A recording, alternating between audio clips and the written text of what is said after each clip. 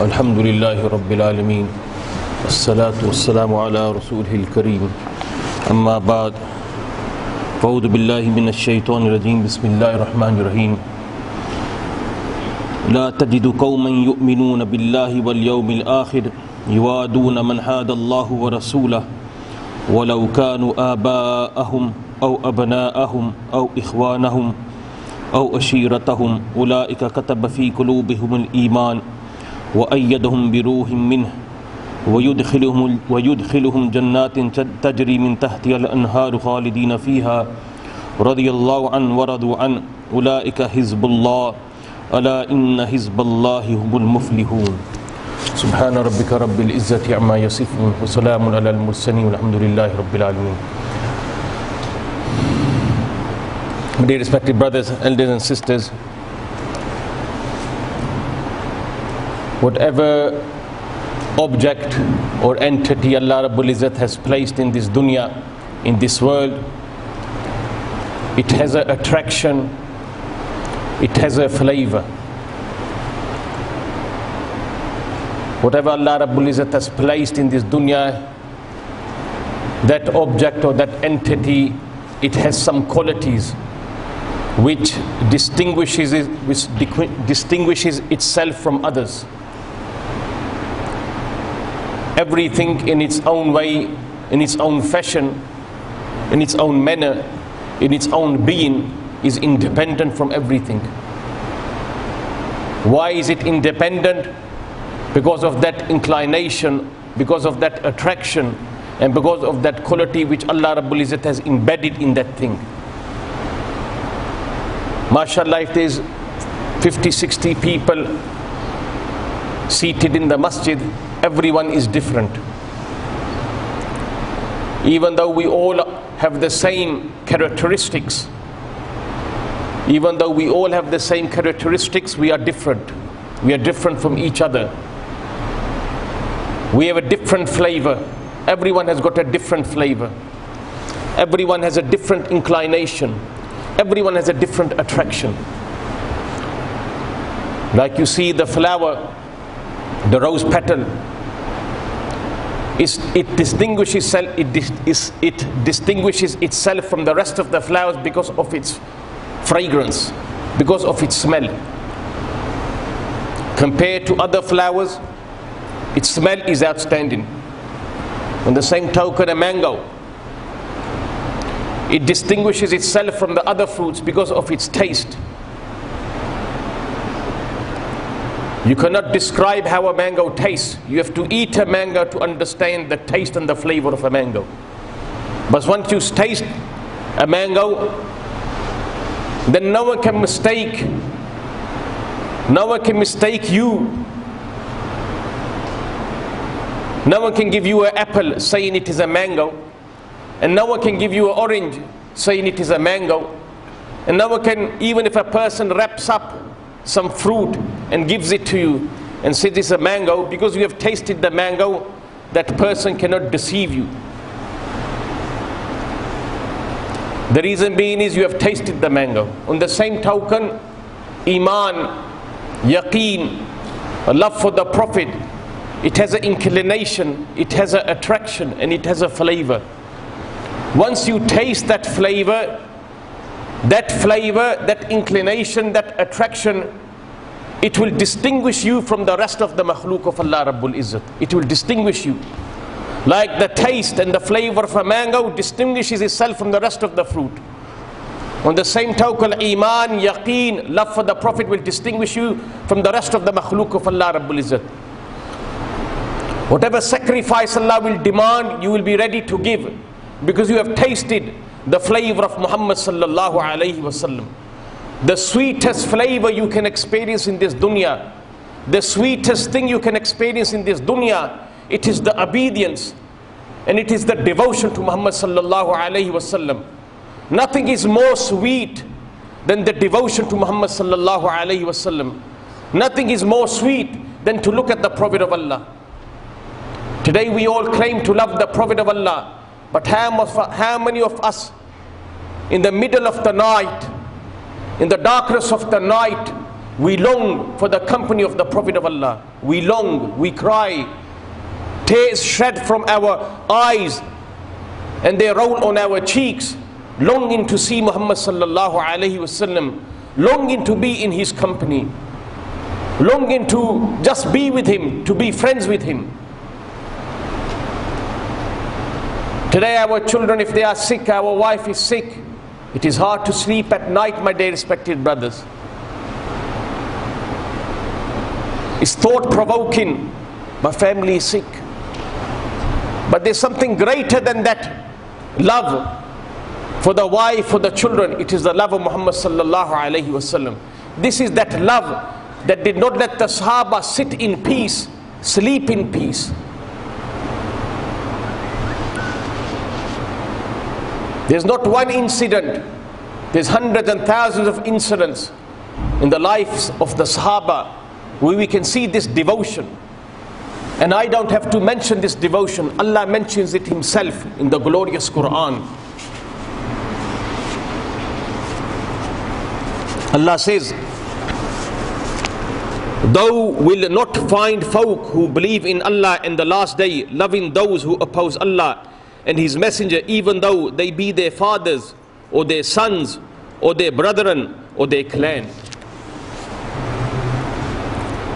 Abu Ubaidah ibn Jarrah radiallahu an, one of the great companions of the Prophet of Allah. He accompanied the Prophet sallallahu alaihi wasallam in the very first battle of Islam against the chieftains of Makkah, the leaders of Makkah. He was amongst those 313 fortunate souls that partook and participated in this battle. And the muhaddisoon they say, if you can read in your dua the 330 names of the Badri Sahaba, the Sahaba that partook and participated in the battle of Badr, your dua will not be rejected. If you can say their name, read their name in the dua, through the intercession make dua, your dua will not be rejected. In the battle of Badr, Abu Ubaidah ibn Jarrah was confronted by his father Abdullah ibn Jarrah. In the initial stages and throughout the battle, Abu, Abu Ubaidah ibn Jarrah tried to avoid confronting his father. He did not want to confront his father. Sometimes to understand what I am about to say or to understand what we are reading, sometimes we have to transport ourselves in that time. We should transport ourselves in that time and just imagine for a second that we are in that environment, we are in that climate. And I'm in the shoes of Abu, Abu Ubaidah ibn Jarrah radiallahu an. What would I do? It is not that a small group of 124,000 people changed the fate of mankind. It was their devotion, it was their commitment, it was their love, it was their sincerity, it was their loyalty to Muhammad sallallahu alaihi wasallam. He tried to avoid his father till the end, but eventually what prevailed was his father, he removed all obstacles. Uh, his father removed all the obstacles between him and his son. Sana Abu Ubaidah ibn Jarrah he can see his father in front of him and his father wants to attack him. But what does Abu Ubaidah ibn Jarrah do? Does he leave the battlefield? Does he run away? No. As his father pounds to attack him, he kills his father.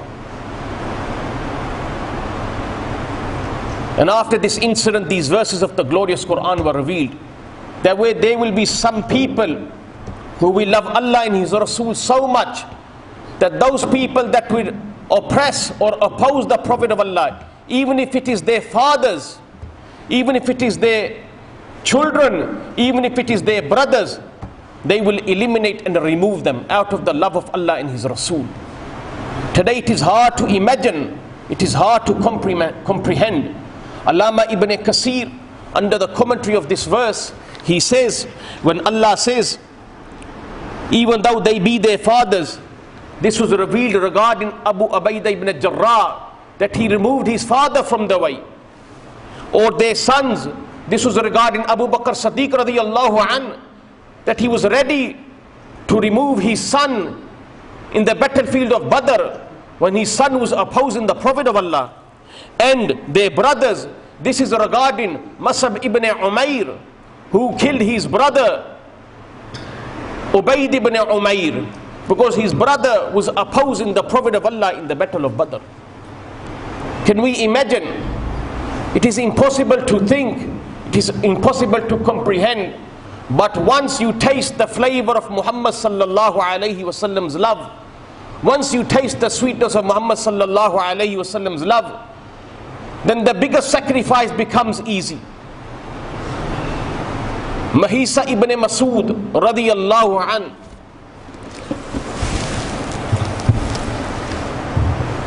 when the treachery and the wickedness and the animosity and the hatred of the Jews increased in Madinatul Munawwara, they started a guerrilla warfare.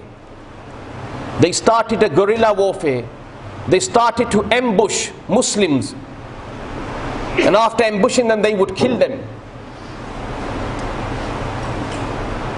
So the treaty, the pact they had with Muhammad sallallahu alayhi wasallam, they were nullifying this pact and this peace agreement they had with the Prophet of Allah.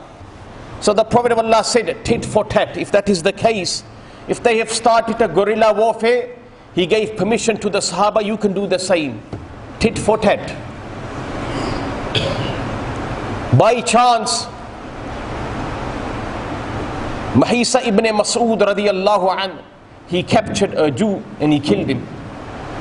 When his brother found out, found out, Khuwaisa ibn Mas'ud, he approached his brother and he started beating the hell out of him. And this was before Huwaisa accepted Islam. And the reason being is he had business terms with this Jew. He had business terms. They were business partners. So he started beating Mahisa up. And as he was beating Mahisa up, he was saying, Don't you know the fat in your stomach? It is from the wealth of this Jew. Why did you kill him? Mahisa said, I killed him out of the order of the Prophet of Allah. And not only that, if the Prophet ordered me to kill you, I would kill you. I would not hesitate for a second. When he said this, this struck these words pierced through the heart of Hawisa ibn Masud and he stopped. And he said, Really? If the Prophet ordered you to kill me, you would kill me? He said, Wallahi, I would not hesitate a second to remove you from the face of the earth.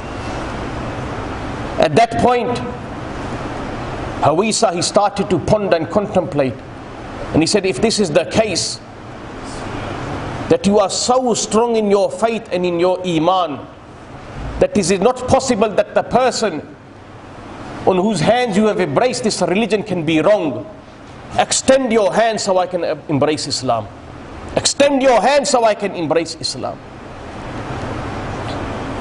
Sa'd ibn Khaythama radiyallahu an. It is said when the Prophet sallallahu alayhi wasallam he migrated to Madinatul Munawwara. Initially he resided at the home of Kulthum ibn al-Hadam radiyallahu an. But her house was very small. She could not accommodate many guests. So the Prophet sallallahu alayhi wasallam to accommodate the guest, he chose the house of Sa'd ibn Khaythama radiyallahu an. So now the Muhajirun and the Ansar can come to his house because he's saying his veranda was big. On the occasion of the Battle of Badr, Saad's father, Haythma bin Harith radiallahu an, he said to his son, Oh my son, we are only two males in the house. And now because the battle of Badr is on hand, it is in front of me. You stay at home and I will partake and participate. You stay here. Look after the children. Look after the ladies of the house. At that point, Saad ibn Haythama, he said, Oh father, I cannot let this opportunity slip. Allah has given me an opportunity to show my loyalty to the Prophet of Allah. Doesn't Allah Rabbul Izzat give us opportunities day in, day out to show our loyalty to the Prophet of Allah? Is Allah Rabbul Izzat depriving us of these opportunities? But there's a difference. That opportunity was opportunity of giving life. Allah is not asking for our lives. Our sacrifice compared to the sacrifice of the Sahaba is very minimal. Allah is not asking much. But today this small is too much. And in those days, in the time of the Sahaba, the biggest sacrifice was small. The biggest sacrifice for the Sahaba was small for them. My dear respected brothers, you cannot imagine, you cannot comprehend, you cannot contemplate, not even in your wildest dreams, the love the Sahaba had for the Prophet of Allah. May Allah give us the tawfiq to read the life of our heroes. Today we have so much time for rubbish, to read the newspaper, to watch the TV, but we do not allocate 10 15 minutes a day just to read the life of Muhammad sallallahu alaihi wasallam. As far as your studies are concerned, study, study thoroughly, because we have no position, no status in these countries if we are not well off and we do not study properly. We have to have a position in this dunya. Study is necessary. But we should not sacrifice our ultimate goal and our ultimate purpose and our ultimate goal of life. And that is to emulate the Prophet of Allah wherever we go. If we are going to the universities, we are going to the hospital, wherever we are going, wherever we are traveling, we are ambassadors of Muhammad sallallahu alaihi wasallam. People look up to us and they say, This is the ummati of Muhammad sallallahu alaihi wasallam. They are not scared from us. Today, whatever image is out there, whatever image we have created, my dear respected brothers, we should not blame anybody. We should not blame anybody. Whatever image the West have regarding us, we have created this image ourselves. Allah is not unfair with His slaves. Zallamin lil abid. Allah is not unfair with His slaves. If you are unfair, then what happens is your wickedness and your crookedness unfolds then. Then Allah turns the makhluk against you. And why? Allahu Akbar.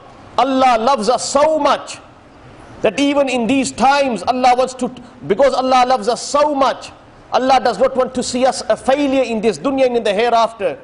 He sends trials and tribulations upon us so we can go back to the original route, so we can turn back to Allah Rabbul Izzat. This is a mercy in disguise. When a calamity befalls the ummah, it's a mercy in disguise. It is a sign we are far from Allah and Allah loves us so much. He is throwing the rope from the heavens to pull us back. Allahu Akbar, He is pulling us back. Allah loves you, Allah loves me, Allah loves everybody. That's why He wants to pull us back. But it is us that we have distanced ourselves even more. We don't want to cling on to this rope. We are avoiding this rope. We are not clinging on to this rope. And what is this rope? This rope is the rope of tawbah and forgiveness. That we ask forgiveness from Allah Rabbul Izzat. That, oh Allah, until today, we do not recognize you. Oh Allah, we have not recognized the Prophet of Allah. Even the makhluk, the creation of Allah recognizes. Istawai Hanana, the pulpit the Prophet used to rest upon in Juma, in Masjidun Nabawi. It was a tree. It started to babble and it started to cry when it was removed from its place. A tree, a log of a tree is crying. The Sahaba said, We heard the tree cry like a child cries. And then the Prophet ﷺ had to embrace the tree. He had to embrace the log to comfort it. Today we cannot even cry as much as this log of tree. How many tears have we shed out of the love of Muhammad? How many tears have we shed for the deen of Allah? How much did the Prophet love us? Once the Prophet was in a jolly mood. He was in a good mood. He entered the house. And Aisha, Aisha Siddiqa radiallahu an, the beloved mother of the followers, when she saw the Prophet in a good mood, she said to the Prophet of Allah, O Prophet of Allah, make dua for me that Allah can forgive. Make dua that Allah forgives me. The Prophet sallallahu alaihi wasallam start making dua. He said, Oh Allah, forgive Aisha. Ya Allah, forgive her past and her present sins. She was so happy, she was rolling on her stomach. So happy that the Prophet ﷺ is praying for me. And then the Prophet said, Are you happy? She said, Why shouldn't I be happy? You, are made, you have made a dua for me. The Prophet ﷺ said, I make this dua for my ummah after every salah. I make this dua for my ummah after every salah. You requested me to make this dua, but without the request of my ummah, I make this dua for my ummah. I make this dua in tahajjud for my ummah. The Prophet ﷺ longed to see you and me. Do we long to see the Prophet? The Prophet once in the presence of the Sahaba started to cry. Many a times he cried and he said, I long to see my brothers. The Sahaba inquired, Oh Prophet, aren't we your brothers? The Sahaba, the Prophet of Allah said, No, you are not my brothers. You are my companions. My brothers are those that will not see me but will embrace my but will embrace me. My brothers are those that will not see me with their eyes but they will bring iman in me. They will bring faith in me. And even if they have to spend their wealth to see me, they will spend their wealth. Those are my brothers. The brother used to long to see us. He used to long to see us. He used to cry for us. Tears, tear after tear, night after night, out of the love of this ummah. And today this ummah cannot shed one tear for that Habib. This ummah cannot shed one tear out of the love of Muhammad sallallahu alayhi wasallam. It has become so hard because we don't understand the sacrifice Muhammad went through. The sacrifice he gave, the hardship he went through, the trials and tribulations he experienced. You cannot imagine. The Prophet of Allah said, if you have to collect all the trials and tribulations in one pan, the trials and tribulations that I experienced in my life, the trials and tribulations of all the prophets of the past. If you have to collect all of them and you see my trials and tribulations, my trials and tribulations, they outweigh the trials and tribulations of 123,999 Anbiya alayhi salatu wassalam. Allah Rabbul Izzat give you me the tawfiq to implement and practice. Wa akhiru da'wana and alhamdulillahi rabbil alamin.